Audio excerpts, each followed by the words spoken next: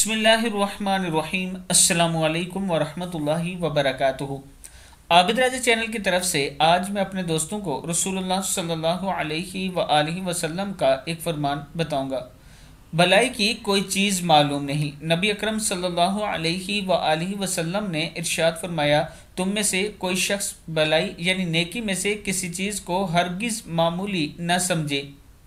یعنی چھوٹی بڑی ہر نیکی کرے اور اگر نیکی کرا نہ پائے تو چاہے وہ اپنے مسلمان بھائی سے اچھے سلوک سے ملے یعنی خندہ پیشانی سے ملے، اور جب آپ کچھ گوشت خریدیں یا کوئی ہنڈیا پکائیں تو اس کا شوربہ زیادہ کر لیں اور ہنڈیا کا کھانا بھی بڑھا لیں اور اس میں سے ایک چمچہ اپنے پڑوسی کو دے دیں۔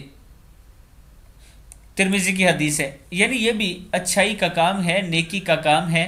کہ جب آپ ہنڈیا پکائیں، کھانا پکائیں تو کچھ حصہ اس میں سے اپنے پڑوسی کو ضرور دیا کریں۔ میں اپنے دوستوں سے گزارش کروں گا کہ آپ نے اس پر ضرور عمل کرنا ہے۔ اور اللہ تعالی ہم سب کو اپنے پیارے نبی اکرم صلی اللہ علیہ و وسلم کے ہر فرمان پر عمل کرنے کی توفیق عطا فرمائے۔ السلام علیکم ورحمۃ اللہ وبرکاتہ۔